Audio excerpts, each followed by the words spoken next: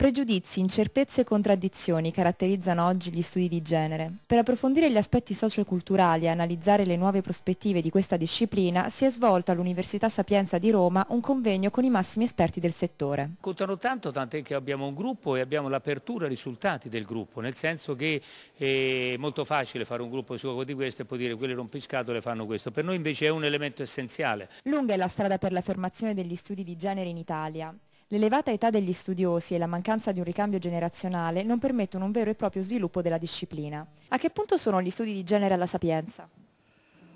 Sono eh, in un punto direi cruciale, nel senso che abbiamo molto eh, lavorato con, eh, con, le ricerche, con la discussione delle varie discipline, con anche il cambiamento delle, delle, discipline.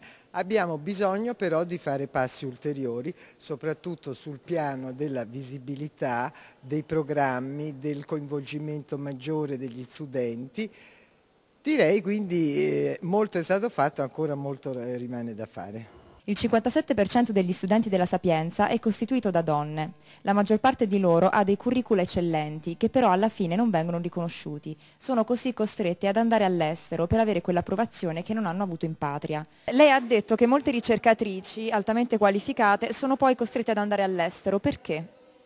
Perché in questo paese non ci sono posti, non ci sono concorsi, ci sono, mm, anzi quelli che avrebbero potuto esserci perché molti colleghi stanno andando in pensione e molti ne andranno, già sappiamo che non verranno rimessi a concorso, già noi abbiamo delle precise indicazioni, questo vuol dire che l'università in genere è destinata, l'università pubblica naturalmente, è destinata a mm, una lenta morte e una, diciamo, un ridimensionamento molto forte e questo naturalmente colpisce particolarmente le giovani donne. Secondo i dati ufficiali le donne italiane sono più istruite dei loro colleghi maschi, ma guadagnano di meno perché lavorano nei settori a basso salario oppure perché prediligono lavori part-time per potersi dedicare alla cura dei figli o degli anziani.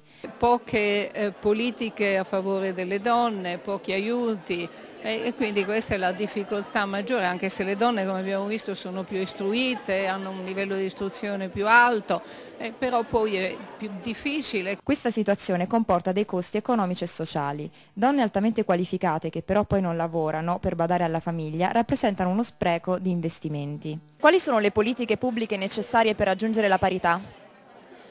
Ma ce ne sono diverse e soprattutto si deve stare attenti a non c'è una misura unica, ma si deve guardare al coordinamento, all'insieme, all'effetto d'insieme delle politiche. E allora si può agire, per esempio in materia di legislazione, per esempio il congedo di paternità, cercare di incentivare la condivisione del lavoro domestico e di cura anche da parte dei maschi attraverso una legislazione che incentivi o diremmo forse anche obblighi i maschi a poter prendere anche loro una parte del congedo. E quindi compito dello Stato ovviare a questo divario per permettere alle tante donne italiane di rendersi competitive nel mercato del lavoro.